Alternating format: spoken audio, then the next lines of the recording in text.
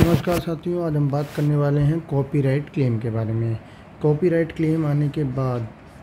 Usually हम देखते हैं कि हमारे जो वीडियोस हैं, जो नए हम डालने लगते हैं, वो भी डाउन होने लगते हैं। तो ये इनके व्यूज़ डाउन क्यों होने लगते हैं, इसका रीज़न तो यूट्यूब भी कुछ नहीं बताता। जब आप इनसे बात करेंगे तो ये ये कहेंगे कि भाई, ये ऐसा कुछ भी नहीं है, ये कुछ टाइम का था और वो जो कॉपी ओनली जो वीडियो है आपका पर्टिकुलर उसी के साथ में प्रॉब्लम होगी। पर ज़्यादातर जब मैंने सर्च किया, देखा तो मैंने सब में यही देखा कि जितने भी लोग हैं, जिनके भी वीडियोस पे एक बार कॉपीराइट क्लेम आ गया अगर तो आफ्टर दैट उनके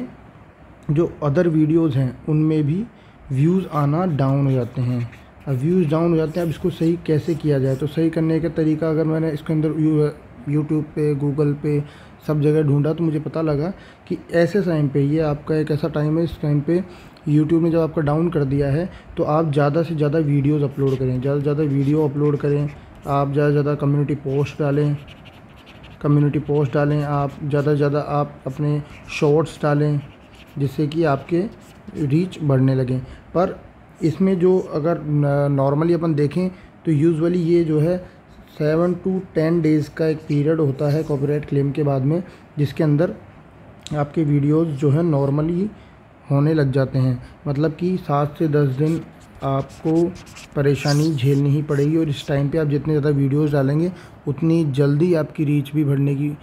कैपेबिलिटीज़ आपके चैनल की बढ़ेगी, आपकी रीच बढ़ेगी। आप, हो सकता है सात से दस दिन से पहले ही अपने चैनल को नॉर्मलाइज़ कर पाएँ, पर यूजुअली जो मैंने पढ़ा है गूगल पे देखा है, लोगों के वीडियोस देखे हैं, उसके बाद मुझे एक बात समझ में आ गई है कि सेवन टू टेन डेज़ का तो आपको पीरियड ऐसा रहेगा जिसके अंदर आपकी वीडियोस पे व्यू कम ही रहेंगे। और यूट्यूब इसके बारे में कोई क्लेम भी नहीं करता है कि हम लोग इस तरीके से करते हैं कि नहीं करते हैं बट ऐसा देखा गया है लोगों के वीडियोज़ में। लोगों से जब मैंने कमेंट किए लोगों से बात की और यूट्यूबर्स से तो उन्होंने यही बताया कि इसमें ऐसा ही होता है, अगर एक भी कॉपीराइट क्लेम आता है तो सात से दस दिन का टाइम लगता है आपके वीडियोस को नॉर्मलाइज़ होने में, आपके व्यूज़ को नॉर्मलाइज़ होने में, आपकी रीच को नॉर्मलाइज़ होने में, क्योंकि ये रीच कहीं ना कहीं इफ़ेक्ट करती है यूट्यूब आपके चैनल को कहीं ना कहीं अफेक्ट करता है और वो कहीं ना कहीं डाउन कर देता है। बट इसका कभी कोई भी यूट्यूब इसका कोई सोल्यूशन नहीं बताता है। बस इसके अंदर यह है कि लोगों के एक्सपीरियंस से हम लोग सीख सकते हैं और एक्सपीरियंस से यही पता लगा है कि सात से दस दिन का आपको वेट करना ही पड़ेगा और इस टाइम पे आप जितने ज़्यादा एफर्ट देंगे अपने चैनल के लिए, उतना ज़्यादा अच्छा होगा आपके लिए।